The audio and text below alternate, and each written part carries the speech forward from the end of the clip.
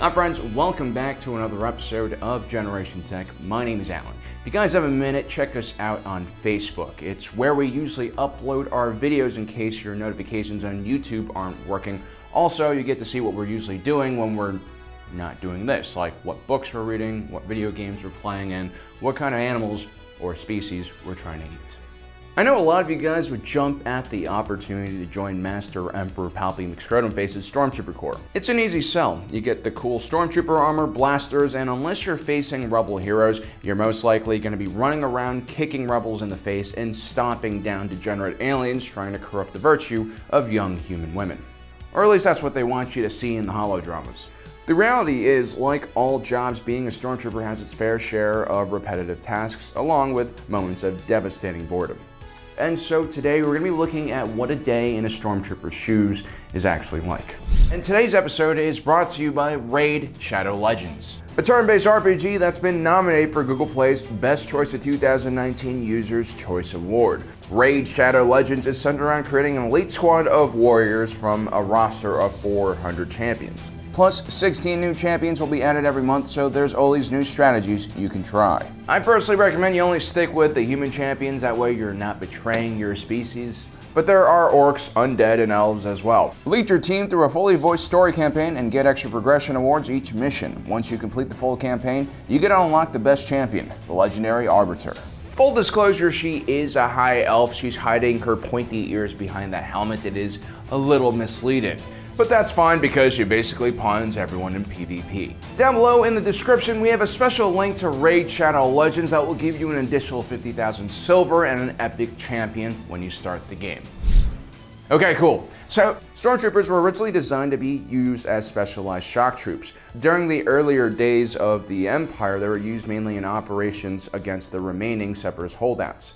Due to the massive size of the Empire, the majority of troops stationed in the Empire's many worlds and outposts were either local militia or Imperial Army. These type of units were much cheaper to maintain and easier to train.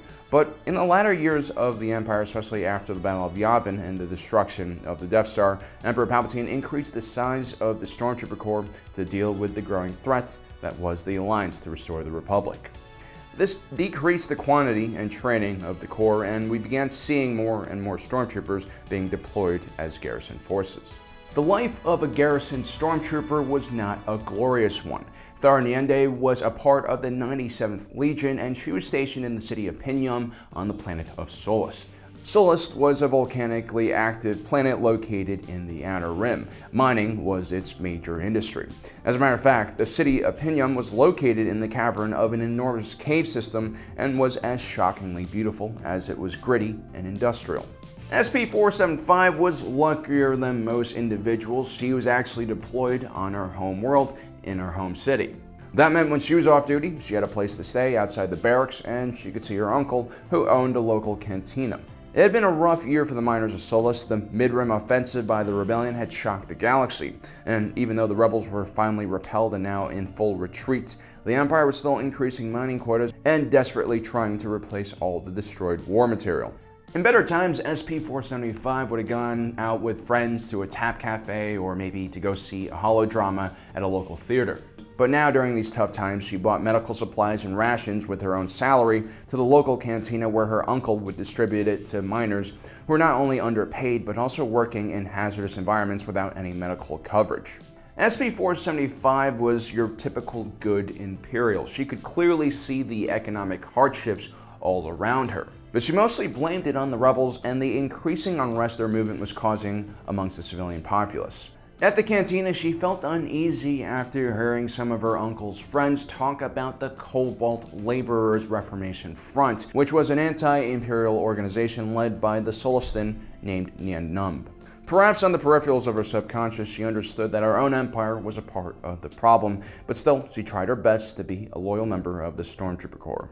SP-475's shift of the 97th Legion was oftentimes at sundown. The Imperial complex on Sullust would have probably looked quite similar to the one we saw in Lothal, a group of large prefabricated Durasteel buildings that were bland and utilitarian and did not attempt to adjust to the local culture or architecture. It would have stuck out like some giant monstrosity on a greener world, but here on Sullust, its sleek and industrial lines made it fit in very well with the rest of the city. The building was surrounded by mechanical eyes that checked out all of the identities of people walking by. There were several checkpoints that SP-475 had to pass through and show identification before she could actually reach her barracks where her locker was with all of her equipment. When SP-475 puts on her armor, we get some insight on why the armor is designed the way it is. First, she puts on the black body glove. It's made out of a tough material that was designed to absorb the thermal energy of a blaster round. It also could regulate body temperature. Then she would put on her synth leather boots. Out of habit, she always made sure to put her left one first and then her right. Then she would snap on the plastoid greaves onto her legs. Once they made contact with the right point, a mechanical click and whirl could be heard, signaling that she had done it properly. Then the belt and crotch plates would come on, followed by the chest plate and shoulder plates, arms, and gloves. They were all perfectly molded to her body shape. The Empire didn't give any special treatment to women who were trying out for the Stormtrooper Corps. They had to meet the same high standards as the men, so Thara would have most likely been one of the very few women in her unit. While putting on all of this armor would have been very difficult for an uninitiated Stormtrooper, these troopers were expected to hop in all of their gear and be combat ready in under a minute. The final step for Thar was to grab her helmet, which had to be clicked in place before the lenses depolarized and the computer system turned on and activated the HUD, along with a camera and microphone that recorded everything she did. Stormtroopers could be punished for taking off their helmets during a patrol or for having excessive chatter.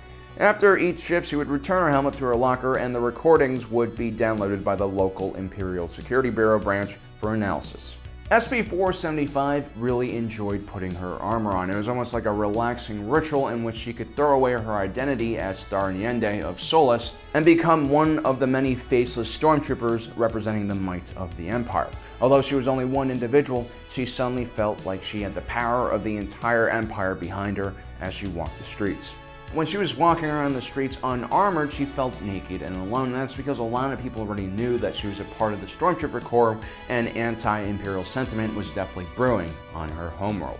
After shooting up, SP-475 and the rest of her unit would report for briefing and inspections. When Thara had joined the Stormtrooper Corps a year earlier, she used to really dread these daily inspections. Any minor scuff or wrinkle on her armor or uniform would be called out, and she always took this personally until one day she realized that the reason these inspections were made was so that every individual could look the same, so that no one could be singled out.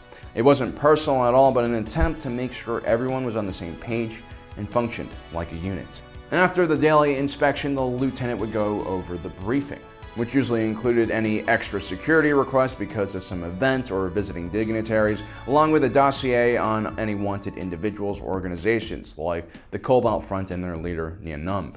The 97th Legion at the time was carrying out anti-insurgent operations against the local resistance movement, which was trying to link up with the wider rebellion. At the end of each one of these briefings, the lieutenant would usually have some kind of uh, PowerPoint or the Star Wars equivalent of a PowerPoint, which would show different type of maps and photos of the individuals that are suspected terrorists. This would be followed by patrol assignments for each Stormtrooper squad across the city, but in some rare cases, a larger attack by either rebel forces or bandits could escalate the alert level of the entire base. Which is exactly what happened when the Rebellion's 61st Mobile Infantry attacked Sullust and took over control of Inyusu Tor Mineral Processing Facility, which overlooked Pinyumb. It was an extremely important facility that actually was built into an active volcano, which they used to power their forges and smelters. The 61st Mobile Infantry's plan was to use the lava in the volcano to destroy the facility. In response, the garrison was deployed and the most skilled members of the 97th Legion were sent to guard the mineral processing facility, which by this point was pretty much a mountain fortress already, complete with bunkers, gun emplacements, anti-aircraft batteries, and the works.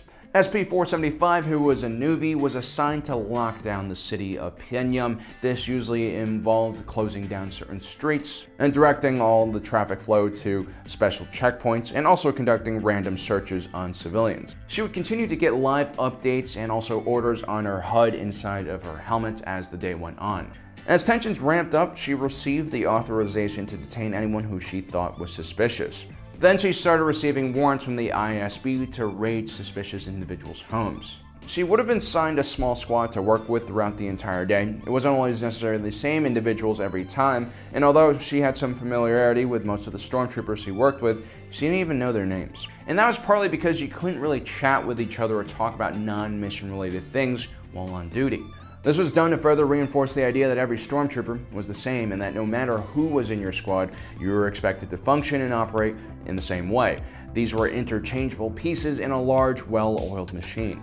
As things got worse, SP-475 found herself basically running around the city all day and all night with very little rest. The Empire continued cracking down on the civilian populace, kicking people out of their homes, shutting down the infrastructure and HoloNet, and making it incredibly hard for anyone to move around the city and even communicate with one another.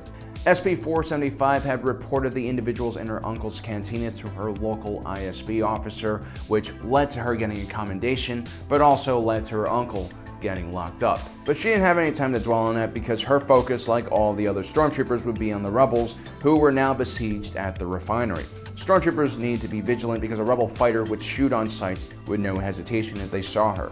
As the situation began deteriorating all across the galaxy, like it did on Sullust, the Empire would begin relaxing its day-to-day -day requirements, minor scuffs on the uniform were okay during wartime, and the Security Bureau would have had their hands full interrogating civilians and probably wouldn't have enough time to look at a stormtrooper's helmet readings. On more isolated worlds like Tatooine where resupply and logistics were spread thin, the stormtroopers' equipment would begin to fail, and sensitive components like the built-in climate change were usually the first to go. As their speeders broke down, they would be forced to ride dewbacks instead of machines. Now, the situation that we talked about today is just one of many. You could also be deployed on a beautiful world like Scarif, where every moment off duty is a vacation. Or you could be deployed on a Star Destroyer patrolling the Outer Rim facing unknown dangers. Or you could be on Corellia, a dirty industrial world, doing the same thing as Thara was on Sullust. So if you could put up with all the rules and the regulations and uh, the mundane, repetitive tasks you had to do on a daily basis, spliced in with moments, small moments of fear and combat and violence, while you're looking at a job that pays better than most jobs in the galaxy. So this was actually a pretty decent profession. But let me know in the comment section down below what you think about this job. Would you do it or would you like me try to become a contractor, uh, aka smuggler, and just kind of do your own thing? Well, guys, don't forget to subscribe and hit that notification button so you don't miss out on the rest of our awesome content. Also, a special thanks again to Raid Shadow Legends for sponsoring our video. And as usual, thanks for joining us today. If you're watching this, you are Generation Tech.